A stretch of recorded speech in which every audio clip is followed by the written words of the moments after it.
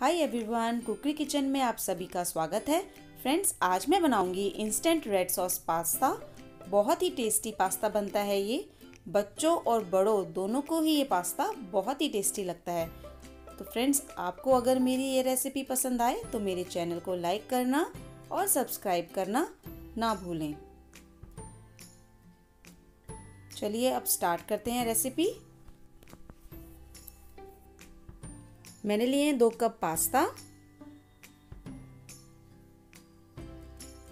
पाँच से छः बेबी कॉर्न एक स्लाइस्ड अनियन एक गाजर, एक शिमला मिर्च और एक कप स्वीट कॉर्न अब एक पैन लेंगे, उसमें हम डालेंगे एक लीटर पानी. फ्लेम को हमने हाई रखना है और पानी को उबाल लेंगे. अब हम ऐड करेंगे एक छोटी चम्मच नमक और एक छोटी चम्मच ऑयल जब पानी अच्छे से उबल जाएगा, तब हम ऐड करेंगे पास्ता. इसे मिक्स कर लेंगे. और कम से कम 15 से 20 मिनट तक हम इसे पका लेंगे. पास्ता को ओवर कुक बिल्कुल नहीं करना. जब 90 परसेंट पास्ता पक जाए, तब हम इसे हम निकाल लेंगे. गैस बंद कर देते हैं. थोड़ा सा स्टॉक लेंगे हम इसका, ताकि हम इसका यूज़ ग्रेवी में कर सकें.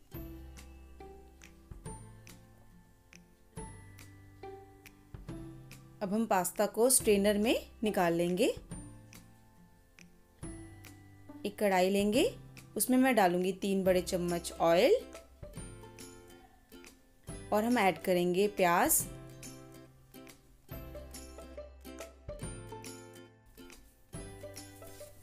प्याज को एक मिनट के लिए ही हमें कुक करना है।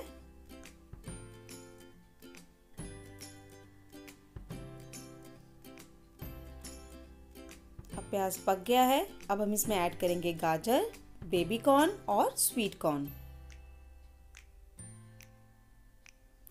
इन सभी को मिक्स कर लेते हैं। और दो से तीन मिनट तक के लिए इन्हें पका लेते हैं। अब गैस को हम मीडियम फ्लेम पे रखेंगे। अब हम ऐड करेंगे चार बड़े चम्मच रेडीमेड पास्ता सॉस ये बहुत आसानी से पास्ता सॉस मिल जाती है मार्केट में। किसी भी ब्रांड की आप ये यूज़ कर सकते हैं। अच्छे से मिक्स कर लेंगे।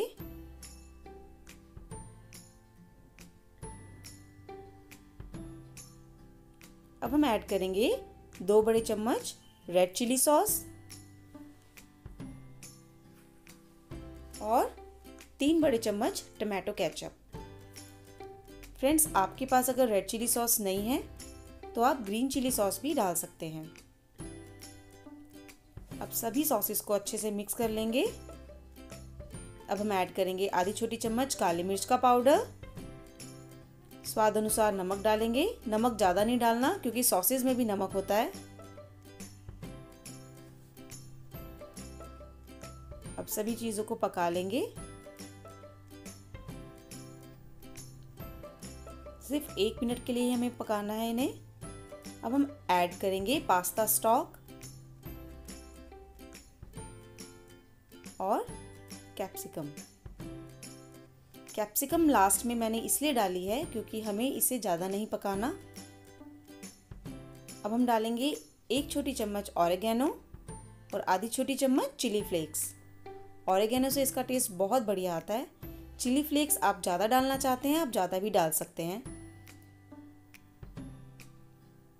एक मिनट तक इसको पकाने के बाद अब हम इसमें हमारा पास्ता ऐड कर देंगे, जो हमने बॉईल करके रखा हुआ था।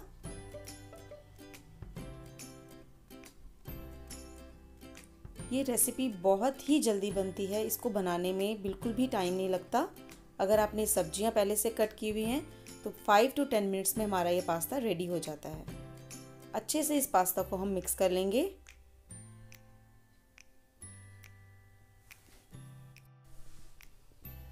पास्ता को हम पाँच से सात मिनट तक पका लेंगे, ताकि सारी सॉसेस अच्छे से पास्ता में मिल जाए।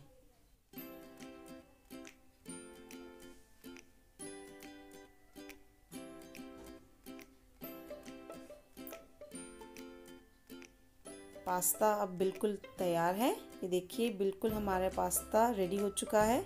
इसे गर्मा गर्म सर्व कीजिए। दोस्तों, आपको मेरी ये रेसिपी पसंद आए तो प्लीज़ मुझे कमेंट के ज़रिए ज़रूर बताएँ और मेरे चैनल को सब्सक्राइब करना लाइक करना और शेयर करना ना भूलें। Thank you for watching my channel